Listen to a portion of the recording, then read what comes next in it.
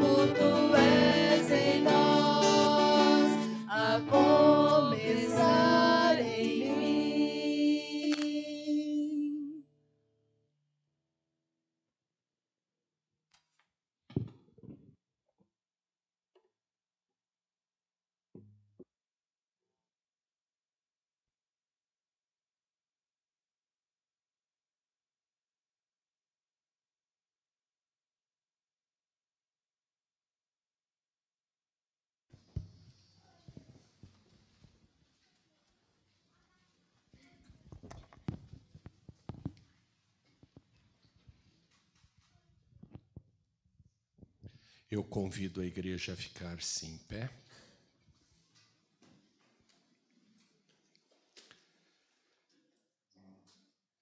Bem-aventurado o que acode ao necessitado. O Senhor o livra do dia mau. O Senhor o protege. preserva-lhe a vida e o faz feliz na terra. Não entrega à discrição dos seus inimigos. O Senhor o assiste no leito de enfermidade, na doença, tu lhe afofas a cama.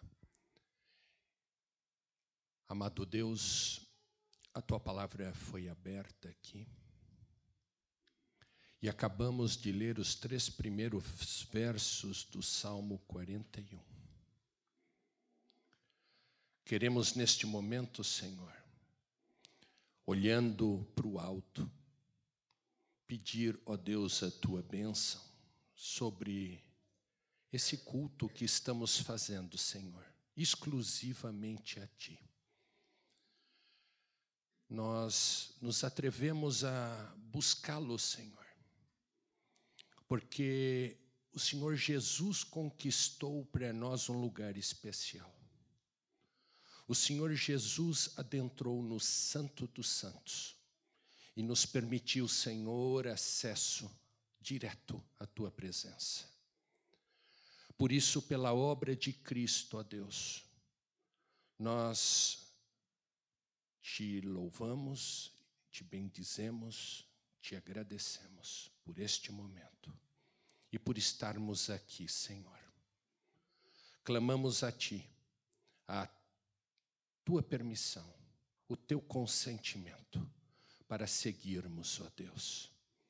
Independentemente da presença do nosso pastor Ion, que todo domingo aqui nos conduz, nós pedimos, ó Deus, que Tu nos conduza essa, essa noite e que tudo ocorra em plena paz, porque te agradecemos e tudo lhe rendemos em nome de Jesus. Amém, Senhor. Podemos assentar, irmãos.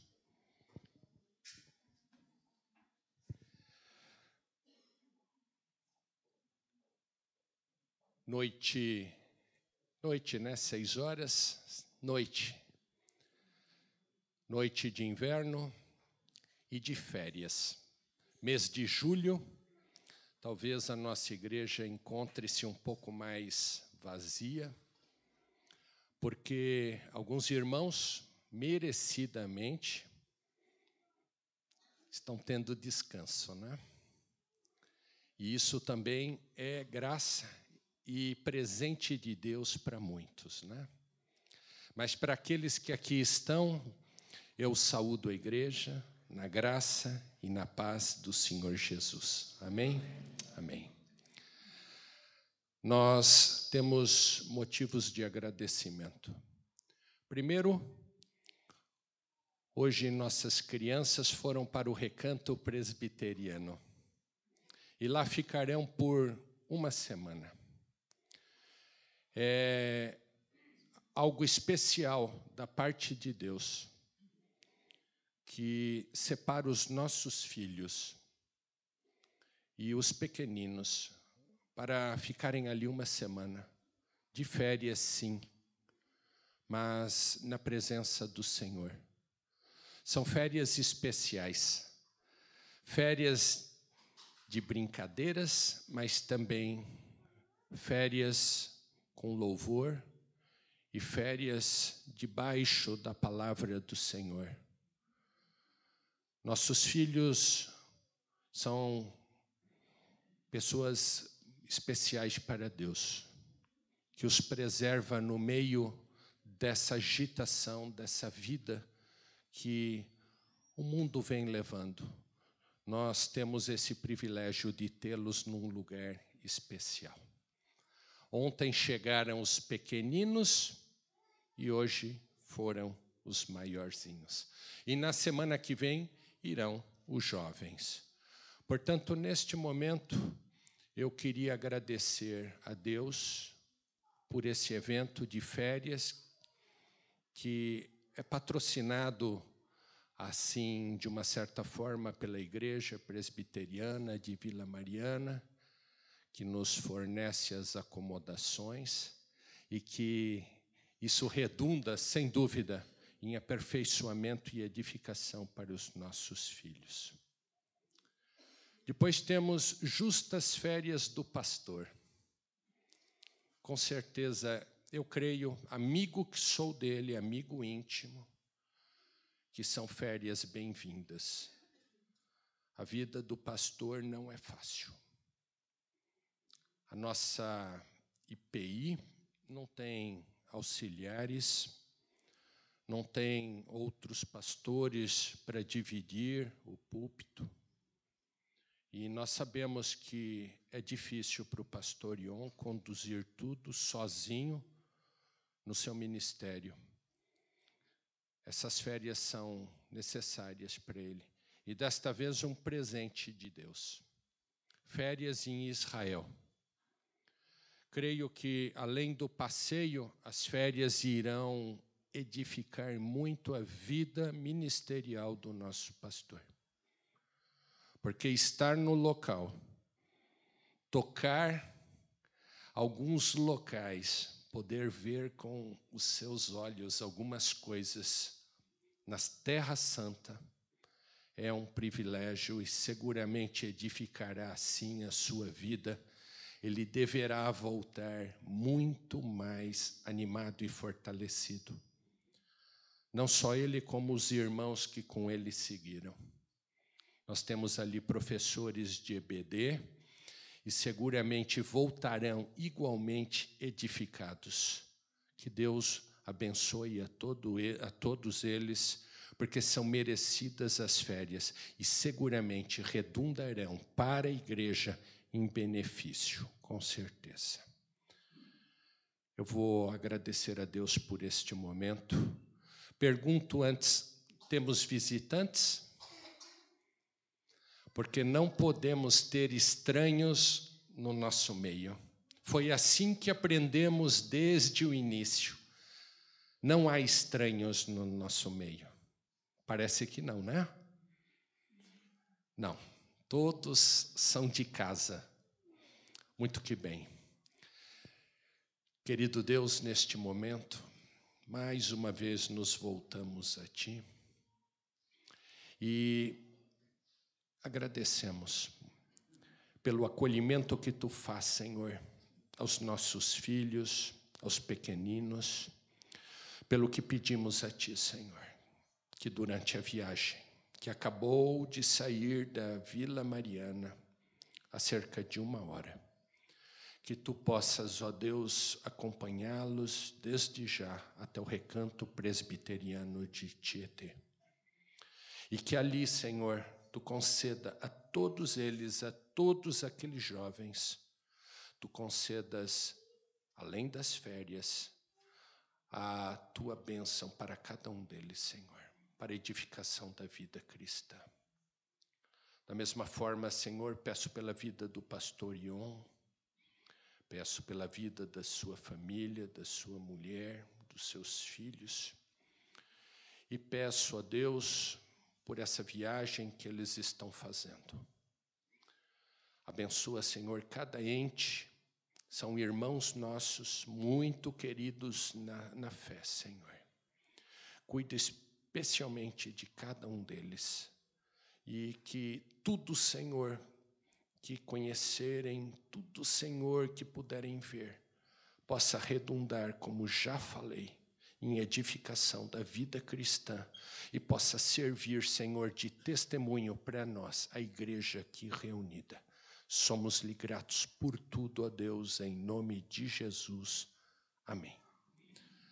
Irmãos, eu diria que podemos nos cumprimentar um, uns aos outros, né? Como fazemos fraternalmente durante todos os fins de semana. Cumprimente seu irmão da direita, da esquerda, da frente e de trás.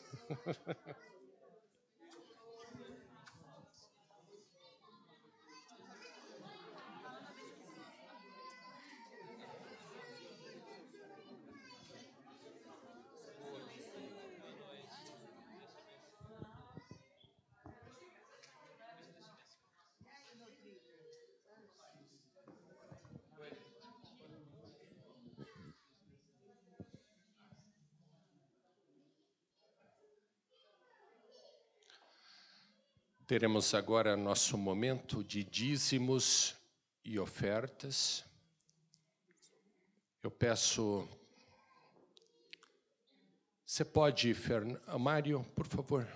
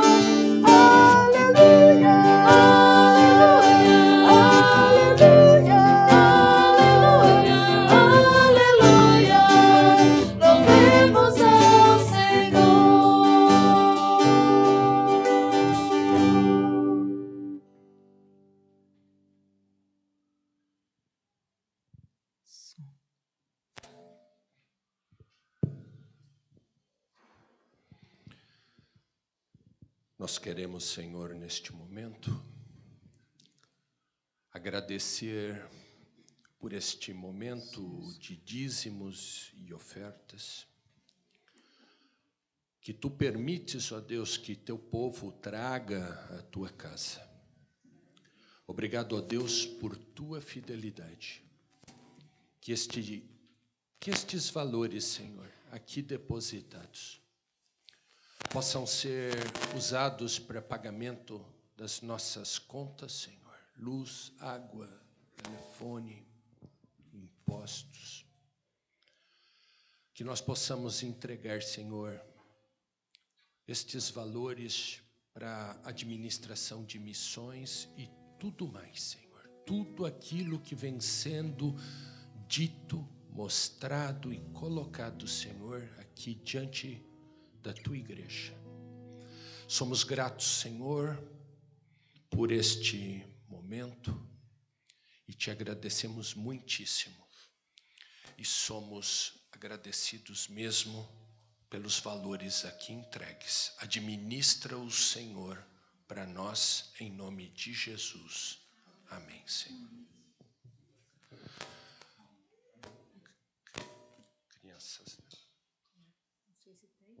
Temos crianças hoje? Temos? Então, mamães.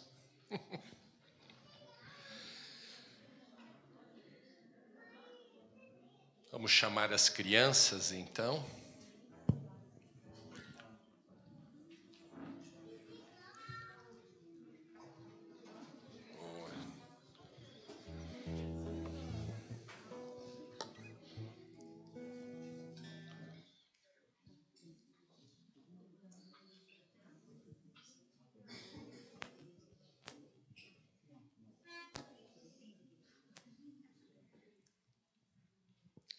Muito bom.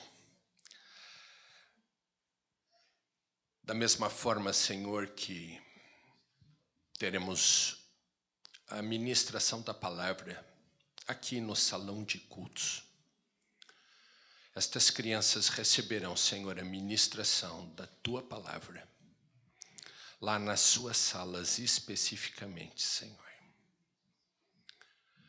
Que tudo que for lido ali, Senhor, conversado com elas, possa penetrar o coraçãozinho delas, para que, desde a meninice, elas possam conhecer as sagradas letras, Senhor, que as levarão para a salvação das suas almas. Abençoa estes garotinhos, essas garotinhas e aqueles também, Senhor, que ministrarão o coraçãozinho delas. Obrigado por tudo, em nome de Jesus. Amém, Senhor.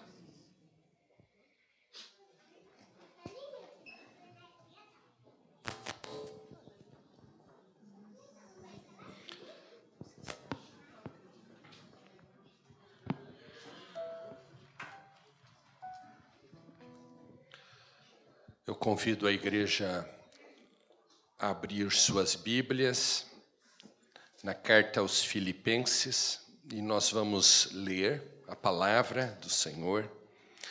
Capítulo 4, nos versos 10 a 19. Vamos ficar em pé, irmãos.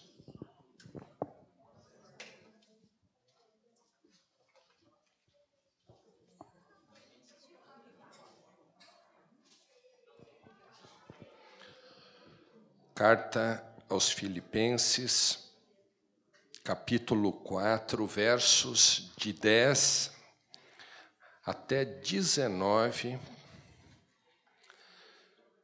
Nós vamos ler responsivamente.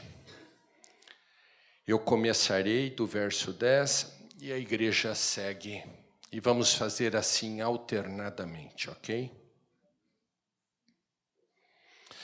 Diz assim a palavra do Senhor. Alegrei-me sobremaneira no Senhor, porque agora mais uma vez renovastes a meu favor o vosso cuidado, o qual também já tinhais antes, mas vos faltava oportunidade.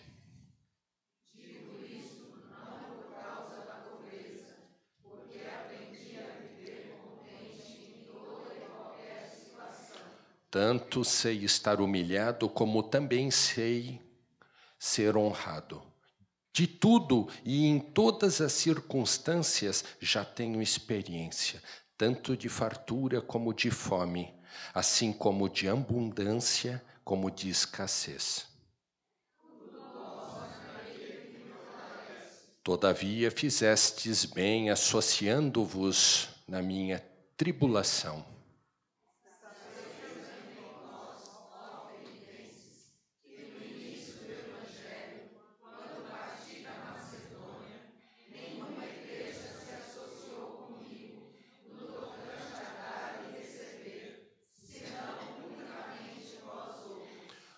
Porque até para Tessalônica mandastes não somente uma vez, mas duas, o bastante para as minhas necessidades.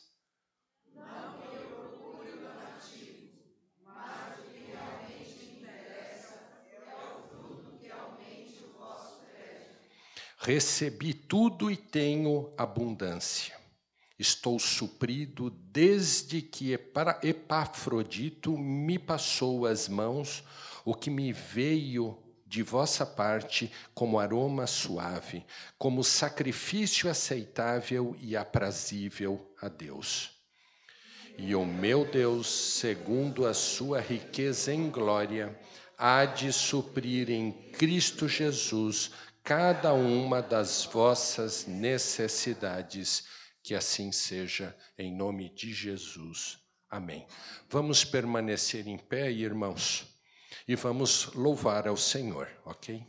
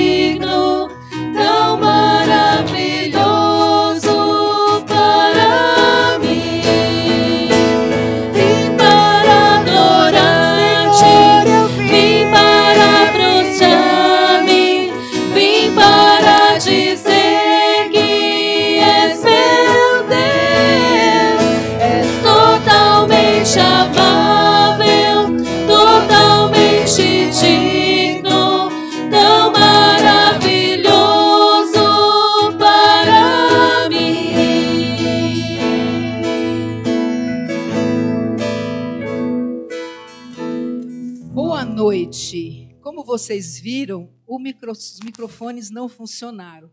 Como ensaio, eu achei perfeito. Então, nós vamos cantar de novo, certo? Porque eu não acho certo ninguém que está por aí achar que nós viemos aqui cantar e louvar e achar que isso aqui foi um louvor, porque eu não louvei como eu acharia perfeito. Ainda que os meus lábios sejam lábios imperfeitos, mas eu quero louvar com a minha voz e quero louvar e quero que vocês louvem com acompanhados da gente. Nós vamos louvar para que quem está em volta possa ver que a gente vai louvar com a nossa força, com lábios ainda que indignos, porque o nosso louvor é fruto de lábios que confessam o nome do Senhor Jesus. Amém?